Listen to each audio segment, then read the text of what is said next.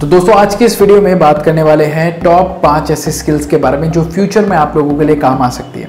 अगर आप एक कॉलेज स्टूडेंट है अगर आप एक स्कूल स्टूडेंट है तो आप लोगों को इन सारी चीज़ों के बारे में जानना बहुत ज़रूरी है, ताकि फ्यूचर में जब आप जॉब लेने के लिए जाएँगे तो आपको अनएम्प्लॉयमेंट का मुँह नहीं देखना पड़ेगा। अगर आपको जॉब नहीं मिलती है तो आप अपने लिए जॉब क्रिएट कर लेंगे, दो लोगों को और जॉब दे सकते हैं। और अगर आप इन स्किल्स को सीख के आते हैं तो आपके लिए एक अच्छी अपॉर्चुनिटी रह सकती है फ्यूचर में एक अच्छी जॉब हासिल करने के लिए। तो दोस्तों, क्या है ये स्किल्स अगर आप ज़्यादा जानना चाहते हैं तो इस वीडियो को लास्ट तक देखते रहिए। हे गाइस व्हाट्सअप मैं प्रवीण, आपका बहुत बहुत स्वागत करता हूँ आपके अपने दिल्ली के इस यूट्यूब चैनल पे। तो अगर पहली बार चैनल पे आए हो तो चैनल को सब्सक्राइब कर लो, बेल आइकन को दबा दो ताकि ऐसे ही वीडियोस जब भी हम लेके आए आपके पास सबसे पहले पहुँचे। दोस्तों, बात कर रहे हैं कुछ ऐसे स्किल्स के बारे में जिनकी फ्यूचर में रिक्वायरमेंट होने वाली है, जिनकी फ्यूचर में बहुत डिमांड होने वाली है।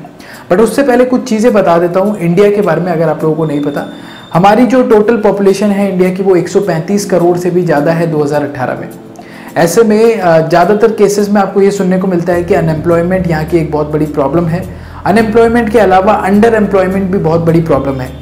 यानी कि जिस हिसाब के पास आपके पास डिग्रीज वगैरह है, उस हिसाब की आपको जॉब नहीं मिल रही। डिग्रीज लेना बहुत आसान है इंडिया में। आप डिग्रीज के पीछे सारे ही भाग रहे हैं बट एक्चुअल में वो डिग्रीज जो है यहाँ पे उतनी वैल्यू नहीं है उन डिग्रीज की। इसके अलावा जो हमारा एजुकेशन सिस्टम है, वो आउटडेटेड है।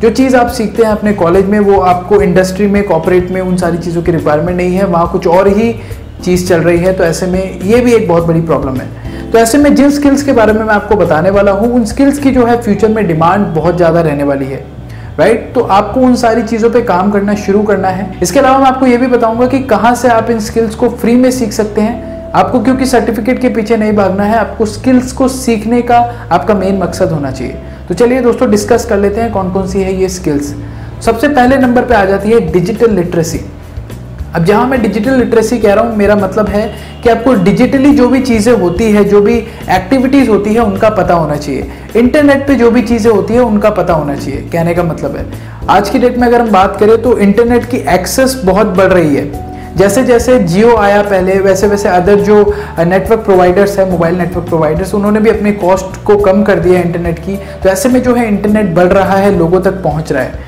अगर हम डेटा की बात करें कि इंटरनेट एक्सेस कितने लोगों तक है तो मैं आपको बता दूँ इंडिया में 2018 में 500 मिलियन यानी कि 50 करोड़ के आसपास जो है लोगों के पास इंटरनेट की एक्सेस है 135 करोड़ में से। तो ये ऑफिशियल डेटा है। इससे आप ये चीज़ तो अनुमान लगा सकते हैं कि इंटरनेट जो है धीरे धीरे बढ़ रहा है और ये आने वाले समय में और भी बढ़ेगा। बट डिजिटल लिटरेसी एक बहुत बड़ी प्रॉब्लम है। इंटरनेट का एक्सेस तो बढ़ रहा है बट लोगों को ये नहीं पता कि इंटरनेट का यूज़ कैसे सही करना है। आज के समय में भी अगर हम बात करें तो लोगों को सिर्फ़ इतना ही पता है कि इंटरनेट का मतलब है फेसबुक व्हाट्सएप यूट्यूब पे वीडियो देखना, ये सारी चीज़ें हैं इंटरनेट का मतलब। तो एक बहुत इंपॉर्टेंट हो जाता है आप लोगों के लिए डिजिटल लिटरेसी होना डिजिटल लिटरेट होना राइट इसके अलावा मैं आपको कुछ टॉपिक्स बता देता हूँ डिजिटल लिटरेसी से रिलेटेड जो कि आप लोगों को सीखना है इंटरनेट पे। जैसे कि वेबसाइट कैसे बनाते हैं ब्लॉग कैसे बनाते हैं एप्लीकेशन कैसे बनाते हैं ड्रॉप शिपिंग क्या होता है डिजिटल मार्केटिंग क्या होता है फ्रीलांसिंग क्या होता है, इन सारे ही टॉपिक्स पे दोस्तों हमारे चैनल पे हमने आप लोगों को डिटेल में चीज़ें बताई हुई है। वीडियोस के कुछ लिंक आपको नीचे डिस्क्रिप्शन बॉक्स में मिल जाएँगे, आप वहाँ जाके चेक कर सकते हैं, सीख सकते हैं। क्योंकि दोस्तों, आप लोगों को इन सारी चीज़ों के बारे में सीखना बहुत ज़रूरी है। मैं ये नहीं कहता कि आप सिर्फ़ मेरे ही चैनल पे जाके, मेरे ही वीडियोस देख के सीखें। और भी बहुत सारे ऐसे लोग हैं जो बहुत अच्छा काम कर रहे हैं अवेयरनेस फैलाने के लिए, लोगों को सिखाने के लिए। आप कहीं से भी सीख सकते हैं बट सीखे ज़रूर इंपॉर्टेंट है सीखना राइट दूसरी चीज़ जो इंपॉर्टेंट है, वो है आंटरप्रेन्योरशिप आंटरप्रेन्योरशिप का मतलब होता है बिज़नेस करना। स्टार्ट बिज़नेस को करना। अभी अनफॉर्चुनेटली हमारे देश में स्कूल्स वगैरह में ये सारी चीज़ें नहीं सिखाई जा रही।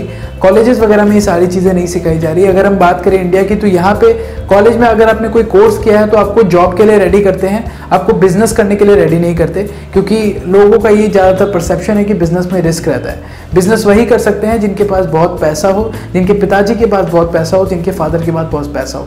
बट दोस्तों, ऐसा बिल्कुल नहीं है। हमारे सामने लाइव एग्ज़ाम्पल है धीरू भाई अंबानी का। अगर धीरू भाई अंबानी उस समय में स्टेप नहीं लेते, अपना बिज़नेस स्टार्ट नहीं करते, जबकि उनके पास कोई पैसा नहीं था, उनके पिताजी जो थे, धीरू भाई अंबानी के, वो एक टीचर थे, फिर भी उन्होंने एक स्टेप लिया, उन्होंने बिज़नेस करना स्टार्ट किया। अगर वो स्टार्ट नहीं करते तो आज अंबानी ग्रुप इंडिया में नहीं होता। तो आप इनसे इंस्पिरेशन ले सकते हैं। तो बिज़नेस करने के लिए कहीं भी आपको ज़्यादा पैसों की रिक्वायरमेंट नहीं होती।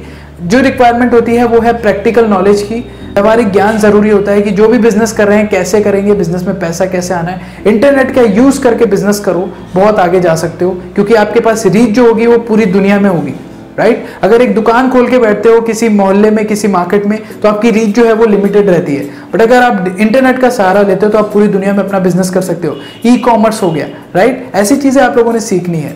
करेक्ट तीसरी जो इंपॉर्टेंट चीज़ है वो आप लोगों को सीखनी है, वो ये है कि आपको इन्फॉर्मेशन को एक्सेस और एनालाइज करना आना चाहिए। आज की डेट में इंटरनेट के युग में बहुत सारी इन्फॉर्मेशन अवेलेबल है। चाहे आप कुछ भी चीज़ टाइप कर लो गूगल पे, उससे रिलेटेड आपको बहुत सारी इन्फॉर्मेशन मिल जाएगी। तो आपको ये सीखना है कि आप अपनी जो रिक्वायर्ड नॉलेज है, जो रिक्वायर्ड इन्फॉर्मेशन है, उसको कैसे निकाले और कैसे उसको अपने काम में लगाए। लेट्स से एक एग्ज़ाम्पल के तौर पे आपको बताता हूँ। मान लीजिए आपकी एक शर्ट की फैक्ट्री है, आप शर्ट्स बनाते हैं। अब आपको नया ट्रेंडी डिज़ाइन सोचना है। आप गूगल पे गए, आपने ट्रेंड सर्च कर लिया कि भाई यूएस में कौन सा ट्रेंड चल रहा है मैक्सिको में कौन सा ट्रेंड चल रहा है। उस हिसाब से आप लोगों ने अपने जो है शर्ट्स के डिज़ाइन तैयार किए। कुछ नया आपके बिज़नेस में आ गया, आपके बिज़नेस एक्सपैंड होगा, लोग आपके प्रोडक्ट को पसंद करेंगे। तो इस तरीके से आपको किसी भी फ़ील्ड में आप हो, मैं ये सिर्फ़ एक एग्ज़ाम्पल बता रहा हूँ। आप लोगों को उसी हिसाब से जो है इन्फॉर्मेशन को एक्सेस और एनालाइज करना सीखना है दैट इज़ वेरी इंपॉर्टेंट चौथी सबसे इंपॉर्टेंट चीज़ है, वो ये है कि आपको सेल्फ नॉलेज होनी चाहिए। एंड आई बिलीव कि ये जो चीज़ है सेल्फ नॉलेज की, ये सबसे ज़्यादा इंपॉर्टेंट है। आज की डेट में अनएम्प्लॉयमेंट की जितनी भी प्रॉब्लम्स इंडिया में हो रही है या अंडर एम्प्लॉयमेंट की प्रॉब्लम्स हो रही है, वो सेल्फ नॉलेज के कारण है। ज़्यादातर केसेस में आज की डेट में इंडिया का यूथ जो है, वो भेड़ चाल की तरफ़ भाग रहा है। ज़्यादातर लोग डिसीज़न अपने खुद को देख के नहीं लेते, दूसरा क्या कर रहा है, उसके अकॉर्डिंग जो है अपने डिसीज़न लेते हैं। ये एक बहुत गलत चीज़ है। आप किस चीज़ में अच्छे हैं, अपने आप को पहचानो, उसी हिसाब से अपने लाइफ के डिसीज़न लोगे तो लाइफ में आगे वाले समय में आपको प्रॉब्लम नहीं होगी।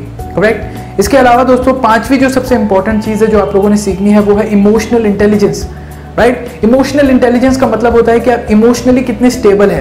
क्या आप जो डिसीज़न है अपने लाइफ के, अपने पर्सनली या प्रोफेशनली जो आप डिसीज़न ले रहे हैं, वो गुस्से में ले रहे हैं या फिर बहुत ज़्यादा खुश है, तब ले रहे हैं, ऐसा नहीं होना चाहिए।